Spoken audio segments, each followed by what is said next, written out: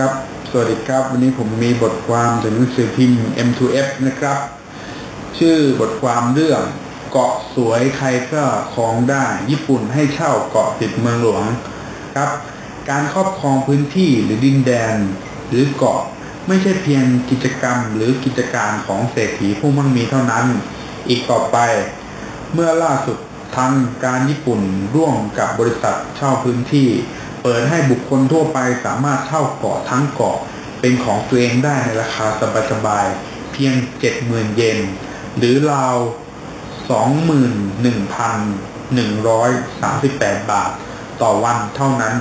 ก็จะมีพื้นที่ส่วนตัวที่แสนกว้างขวางและอุดมไปด้วยธรรมชาติได้ทันที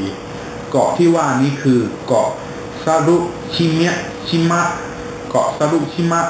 หรือที่เรียกกันว่าเกาะลิง ห่างจากฝั่งโยโกสุกะของจังหวัดคานางาวะซึ่งเป็นที่ตั้งของอ่าวโตเกียว เพียงแค่ 1.7 กิโลเท่านั้นที่ผ่านมาเกาะ แห่งนี้ที่มีชื่อเสียงอย่างมาก และมีนักท่องเที่ยวหรือแม้แต่ชาวญี่ปุ่นเองล่องเรือเฟอร์รี่ไปเยี่ยมชมกันอยู่เป็นประจำนะครับ เพราะเป็นเกาะธรรมชาติ เพียงแห่งเดียวในเขตนี้และมีเรือข้ามฟากคอยอำนวยความสะดวกถึงเจ็ดเที่ยวต่อวัน เกาะนี้จึงต้อนรับผู้คนอย่างเนืองแน่นมากในช่วงหน้าร้อน ที่จะแวะเวียนกันไปนั่งเล่นริมหาดเพื่อพักผ่อนหรือเดินชมธรรมชาติ สีเขียวชอุ่มตามแนวทางเดิน ครับรอบเกาะพร้อมสูดอากาศสดชื่นได้อย่าง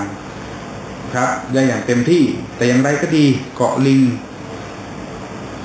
จะซบเซามากในช่วงฤดูหนาว ระหว่างเดือนธันวาถึงกุมภาซึ่งเป็นช่วงนอกฤดูการท่องเที่ยว จึงคาดว่าเป็นที่มาให้ทางการเมือง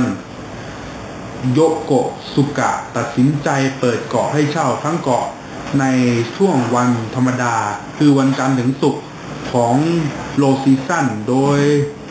สนับสนุนราคาค่าบริการอยู่ที่ 7,000 เยน ต่อวันไม่รวมค่าเรือข้ามฟากต่อคนอีก 200 เยน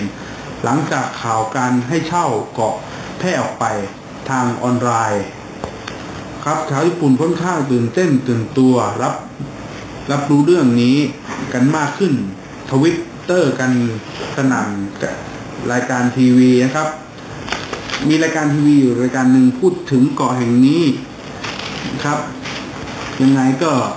ถ้าใครมีตังนะครับ ประมาณ 21,138 บาทต่อวันนะครับ เป็นเจ้าของเลยครับ วันนี้ก็สวัสดีครับ